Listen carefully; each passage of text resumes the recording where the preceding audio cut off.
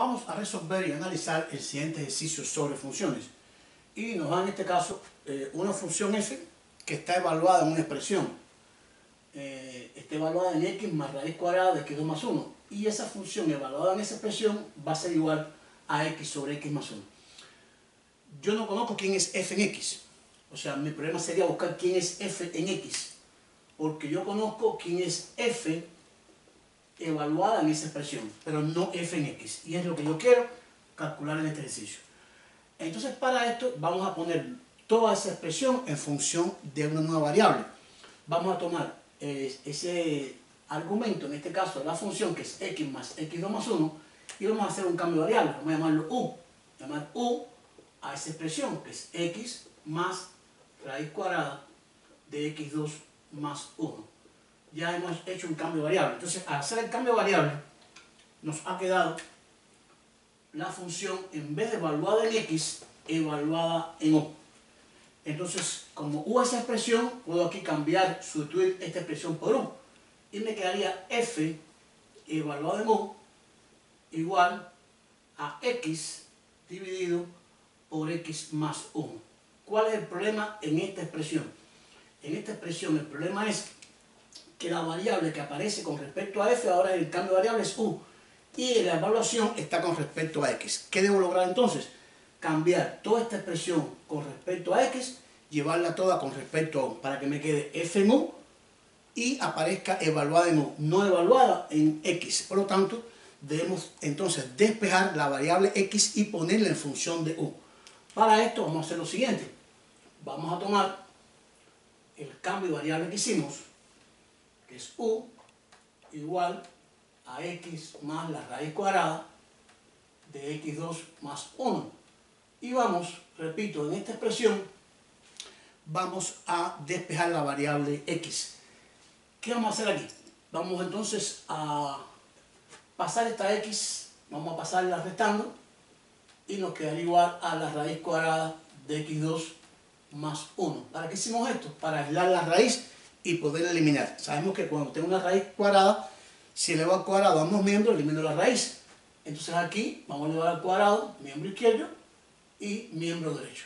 Aquí me quedaría un binomio al cuadrado. Recuerden que es el cuadrado del primero menos el duplo del primero por el segundo más el cuadrado del segundo.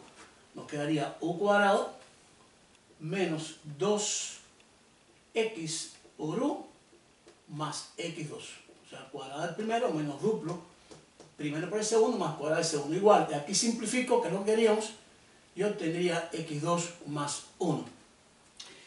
Eh, la variable que está en la x al cuadrado aparece a la izquierda y a la derecha. Si esta la paso restando, se cancelan. Es decir, puedo cancelar los términos que son iguales en miembros diferentes. Y entonces me quedaría esta expresión. u2 menos 2xu igual a 1. Vamos a pasar eh, dejar aquí el, el, el menos 2xu a nuestra izquierda, vamos a dejarlo aquí y el u2 pasaría restando. Porque mi problema, repito, es despejar la variable x y poner en función de u.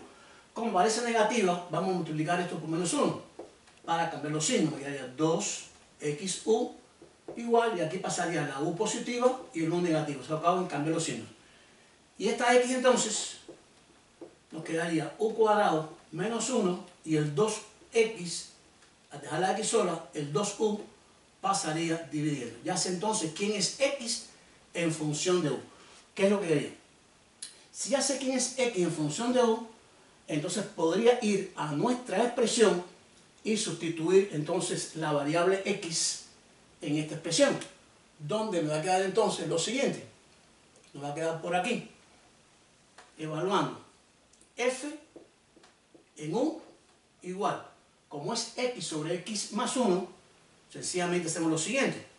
Esta x es u2 menos 1 sobre 2u. La x arriba me quedaría u2 menos 1 sobre 2u dividido por 2 2u.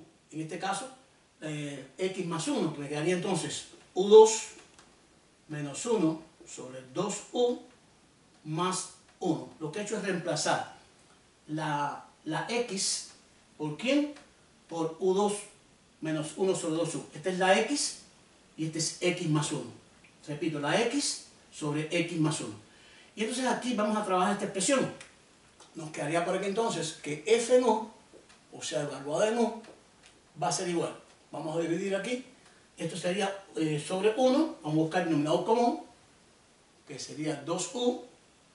2U entre 2U a 1, me quedaría por arriba. U2 menos 1 y 2U entre 1 a 2U por 1 me daría 2U. Me quedaría esta posición. Y de arriba vamos a dejar indicada U2 menos 1 sobre 2U. Y aquí podemos entonces, como tiene una división de dos fracciones, sabemos que la división de las fracciones la puede llevar a la multiplicación. Dejamos aquí el numerador, que es U2 menos 1, sobre 2U, y este, al pasar a multiplicación, lo invierto. 2U sobre U2, vamos a avisarlo, más 2U menos 1. Y aquí podríamos simplificar. Este 2U que aparece dividiendo con este 2U que aparece multiplicando. Y entonces me quedaría que f evaluado en U va a ser igual a U2 menos 1 sobre U2 más 2U menos 1. Con esto hemos logrado buscar quién es f en U. f en U en función de U. Si esa es la expresión para f en U, entonces ¿quién sería la expresión para f en x? Sencillamente sustituir la x por la u, me quedaría x al cuadrado menos 1 sobre x al cuadrado más 2x menos 1. Y entonces hemos logrado buscar quién es la función f en x asociada que cumple la condición que evaluada en x más raíz cuadrada de x2 más 1 me dé x sobre x más 1. Si aquí colocamos en esta expresión, en vez de x colocamos x más raíz de x2 más 1 y sustituimos aquí la x por esa expresión, que es complicada, toda esa expresión me va a dar x sobre x más 1. O sea, hemos logrado buscar la función asociada a una función que aparece con la variable que no es la variable x, sino una expresión que contiene la variable x. Espero hayan entendido el ejercicio, les guste, like y suscríbanse.